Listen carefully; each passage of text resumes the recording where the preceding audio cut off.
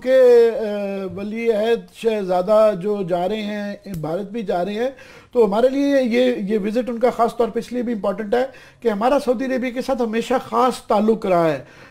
دو چار ملک ہیں پوری دنیا میں ہمارے لیے جہاں پہ ہمیں مثبت تعلقات ہیں۔ مثبت سے یہ ہے کہ انہوں نے ہمارے سے دوستی اس لیے نہیں کی، بھی نیگیٹو ریزنز کی وجہ سے نہیں ہے کہ اگر ان سے نہ کی تو یار ہمارا یہ پرابلم ہو جائے گی۔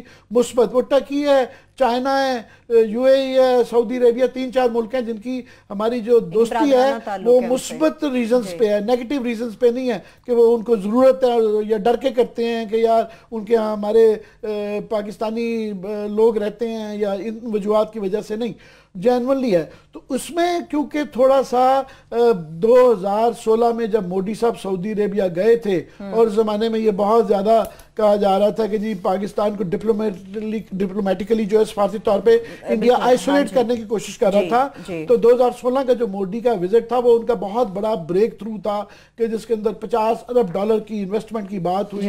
اور پہلی دفعہ اس طرح کا پروٹوکول کسی انڈین پرائم منسٹر کو ملا۔ اندرا گاندھی اس سے پہلے گئی ہوئی تھی اس سے پہلے کوئی نہیں تھا۔ تو یہ ایک بہت بڑا بریک تھرو تھا جس کے بعد سے ہماری اور سعودی عربیہ کا یہ کہا جا رہا تھا۔